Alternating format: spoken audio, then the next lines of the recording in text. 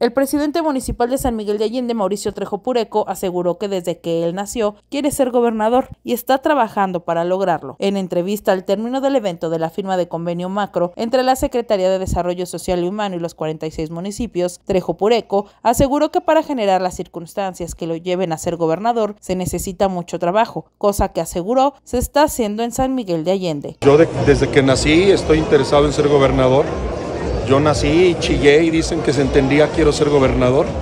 Ahora no, no es nada más querer, es que las circunstancias se den.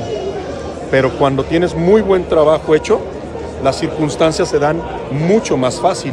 Entonces, antes de perder el piso, antes de que alguien se vuelva loco, lo que se necesita es mucho, pero mucho trabajo para que tengas la posibilidad de generar esas circunstancias eh, mucho más rápido a que se te den. Al preguntarle si tiene los requisitos para poder llegar a ser candidato de su partido a gobernador del estado, Mauricio Trejo, contestó que sí, que la gente lo quiere y aparte están trabajando fuerte en su municipio. ¿Este trabajo se está haciendo en San Miguel de Allende?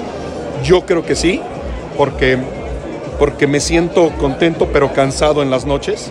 Quien, alcalde que llega cansado y contento en la noche a su casa, es porque, es porque trabajó desde temprano y trabajó fuerte.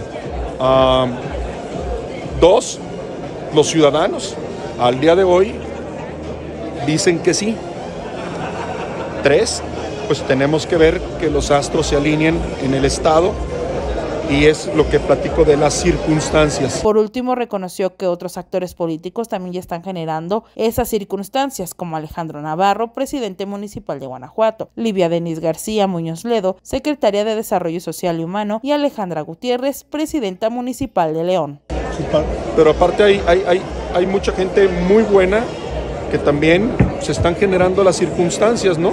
Tenemos ahí a mi, a mi compañero eh, Alejandro Navarro, Livia, una capacidad brutal, Alejandra con una capacidad brutal.